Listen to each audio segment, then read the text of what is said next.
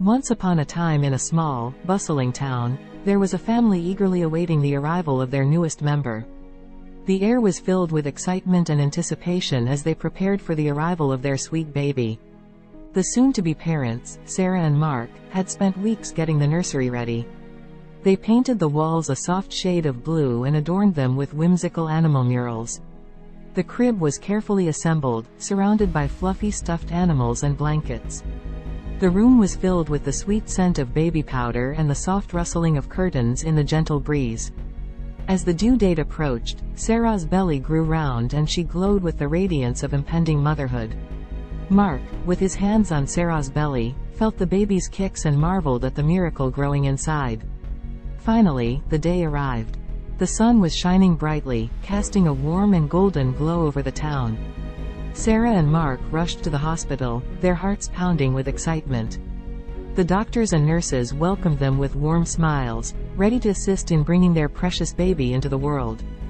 After hours of anticipation, the moment arrived. The cries of a newborn filled the room, and the nurses placed a tiny, wriggling bundle into Sarah's arms. Tears of joy streamed down their faces as they marveled at the perfect, tiny features of their baby.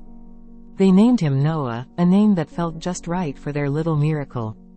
Noah quickly became the center of their world, bringing laughter, sleepless nights, and boundless love.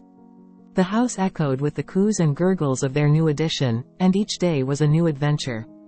As Noah grew, so did the love within the family.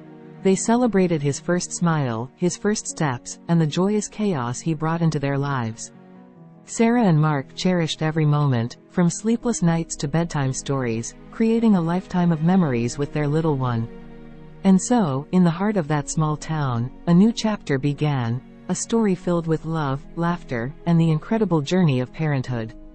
The endearing tale of baby Noah and his adoring family continued to unfold, creating a tapestry of warmth and happiness that would last a lifetime. Thanks for watching the video. Don't forget to subscribe to our channel at Houch Stories.